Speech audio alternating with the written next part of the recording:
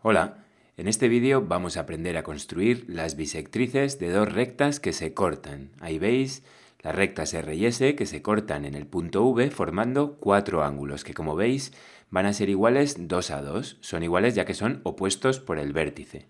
Por otro lado, A y E van a ser suplementarios, es decir, van a sumar 180 grados. Para hallar estas bisectrices únicamente vamos a hallar una de las cuatro. Concentro en el vértice V y con un radio cualquiera, que no sea demasiado pequeño para no perder precisión, dibujamos un arco que corte a los lados del ángulo del cual queremos hallar su bisectriz, como veis en los puntos B y C. Estos puntos van a ser centros de otros dos arcos, que pueden tener el mismo radio que el primero o pueden tener otro distinto, pero el segundo y el tercer arco han de tener el mismo radio.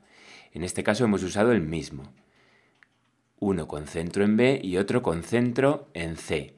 Estos dos últimos arcos se cortan en el punto D, tal y como veis en la pantalla. Pues bien, la bisectriz de este ángulo va a resultar de unir D con V y si la prolongamos vamos a obtener también la bisectriz de su ángulo opuesto.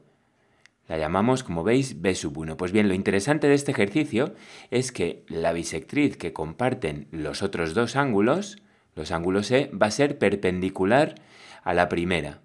Da igual la magnitud de los ángulos, así que como veis, perpendicular a B1 pasando por V, dibujamos la que va a ser la segunda bisectriz.